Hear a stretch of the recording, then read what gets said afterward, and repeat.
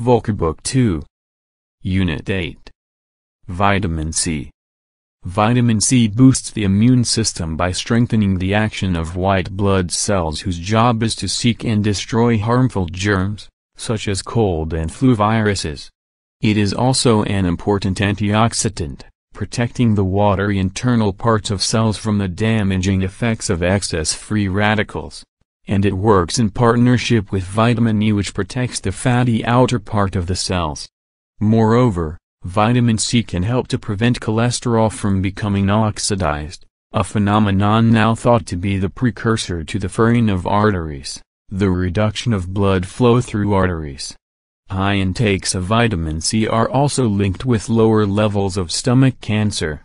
In addition, vitamin C improves the absorption of iron from non-meat sources so ensuring a regular intake is useful if you are vegetarian, or prone to anemia.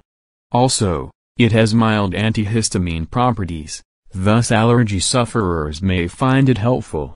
Furthermore, when we are under physical or mental stress, vitamin C is depleted from our adrenal glands, it plays a regulatory role in the production of the hormone cortisone that helps us cope with the pressures of life www.vocibook.org